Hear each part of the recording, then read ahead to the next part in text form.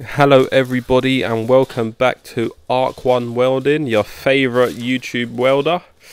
Yes, how is it going? I hope everyone had a happy Christmas and all that sort of stuff and a good new year. I can tell you I did nothing my Christmas and New Year's, just relaxed in playing games to be honest. It was a nice lazy one. But yes, in this video I am making a TV cabinet for my house.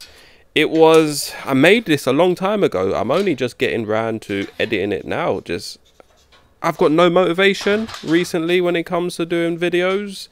It, there's a lot of work that goes into them and it just takes up all my spare time. So, so you know, sometimes I may want to play games, I may want to work on stuff, I may have private jobs, all sorts of things that I just don't have time to video edit. So I hope you lot can understand that. But yes, this video I am making a TV cabinet. I am just throwing it together. It came out okay. It came out more than okay, but not my bestest work. Okay, so this here is the progress so far. I have all the pieces chopped up, but a few of these. It's really late right now and it is coming out with such a blunt cut. So um, yeah, I don't want to annoy my neighbours anymore. So yes, this here is a TV cabinet here is going to be vertically going um, to the side of my TV and here is horizontal. So uh, yeah stay tuned. Tomorrow I will be back. So the materials I was using was 20 by 20 box section about 3 mil thick. I wanted to keep it just you know nice and cheap. It cost about 100 pound in materials uh, I can't remember how many lengths I got, but yeah, about hundred pound in materials. Jesus Christ! How flimsy this is. No wonder why it was so so cheap. Seven pound. Seven pound for all of this. The reason behind making this cabinet was to save money. My labour you know, you when you do things for yourself, your labour costs are minute. Do you know what I'm saying? I, I've I've worked for free to help people out before, so there's no there's nothing bad in working for free to make something for your house. So all I was invested was a hundred pound in materials plus my consumables, which it doesn't really add up that much versus buying a TV cabinet. You could you could go IKEA, but you're buying a generic piece of furniture. It wouldn't look so nice and even even then it would it would have still been more than a hundred pound for a TV cabinet that looks decent enough um, yeah so it, it definitely it definitely um, came out good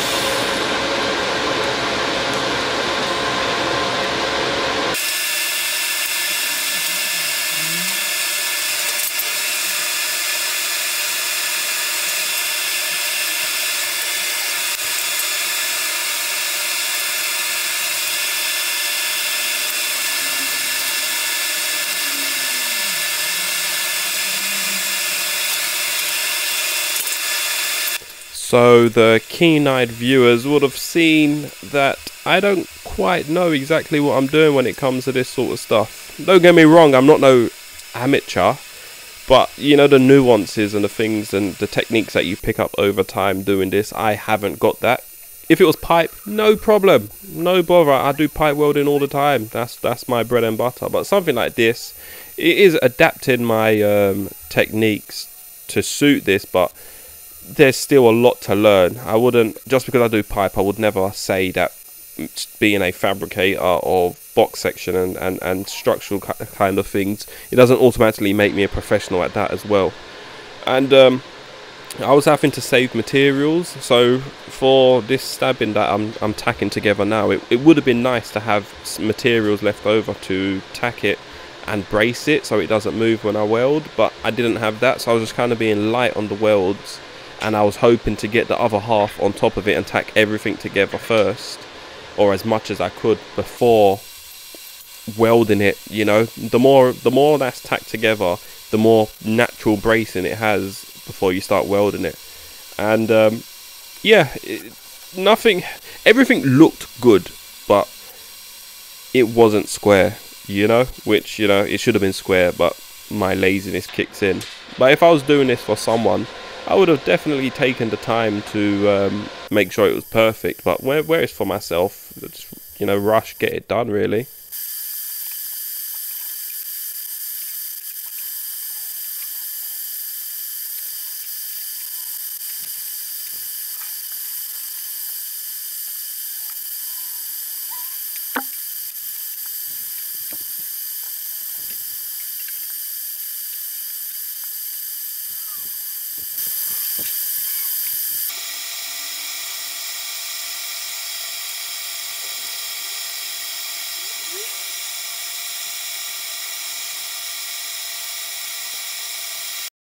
So this is the level I've got it to. By no means is this perfect.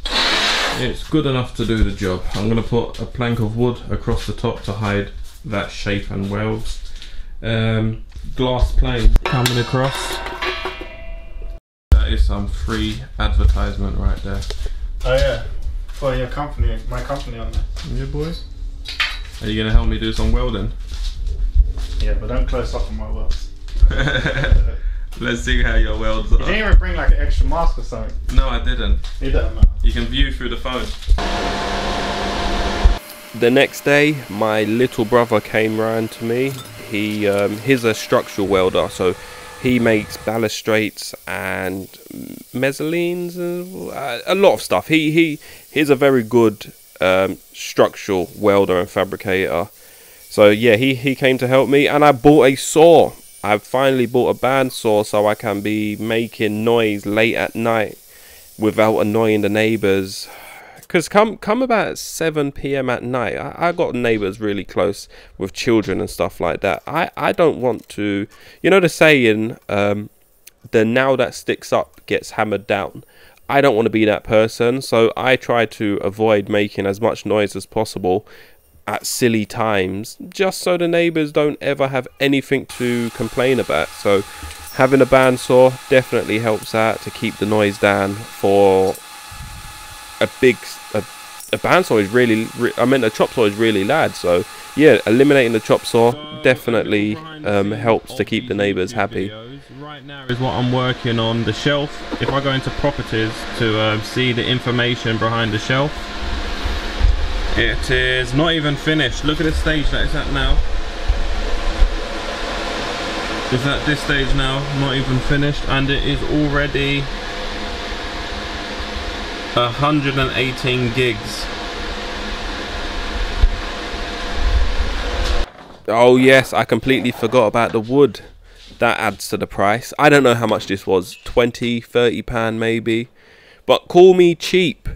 I I was able to get all of the wood cut for this project from this one sheet. I did have to butt two bits of wood together and there is a seam. I, I really don't care for it myself. It doesn't bother me. But I was able to chop it all in um, from one sheet. This, this is what I'm talking about. Look, what am I doing using a jigsaw? I'm sorry guys, I do not have a I don't have, what is it, a straight cut saw or circular saw? I don't have any other saw, just a jigsaw. And I know it doesn't give you good cuts, but I was using the sander to, to, to make the edges look nice. I'm just doing. I'm dealing with what I can deal with. You know what I'm saying? For the progress, one more day is finished and it's coming along nicely. I just need to now attach all the wooden pieces, spray it, and put it onto the wall, and I believe that will be done.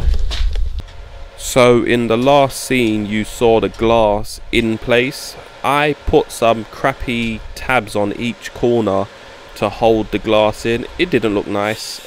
None of them was equal height so the glass was bobbing all over the place. So I, I chopped them out and I replaced them with these strips. That's such a, a, a much better idea to um, to do it that way.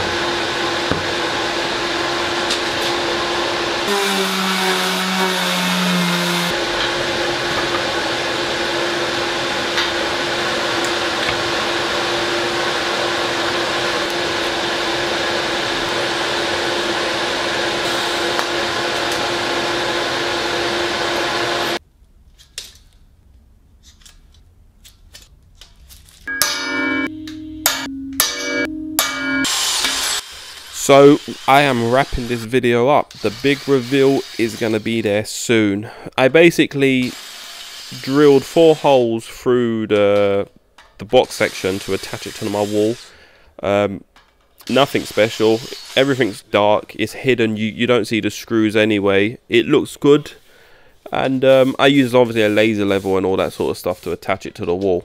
But yes, it is it is finished now. Um, if you liked what you see, hit the subscribe button. I'm planning on making more videos like this, but there's no promises. Um, check my check my feed. I normally do pipe welding videos, so this here is a little bit different, and um, I hope you lot enjoyed anyway. So thanks for watching, and I will see you lot in the next one. So yes, it is completed. This here is the final product, really. I was going to clear all of this sort of stuff off so you could see it in all its glory, but no, this is a this is my channel. We do things real here. Before I could film the reveal, all of my little boy's toys got put in front of it, so I can't be bothered to clear all of it out. I'm just going to show you how it looks. Personally, I think it come out nice. The finish is good. It's only for my house. This was its intended purpose. So right here, I have my fish tank. And yes, I've got a shelf on top, the fish tank here. And I wanted a vertical shaft going up so I could hide all of the cables going to power the lights on top of the fish tank. So here's all the lights. So I wanted to hide the power cable going to it. And then I also wanted a floating TV cabinet so you can see how it's floating. The wood finish I believe yeah it looks nice. And the grey goes with the rest of the grey in the rest of my house including the curtains and stuff like that. But yeah I believe it came out nice. Custom made work. Looking good. Goes also with also goes with this shelf going across. That's definitely overloaded. And the whole wall, I think, looks pretty decent. So the next step obviously is sorting out more of the house, but one thing at a time.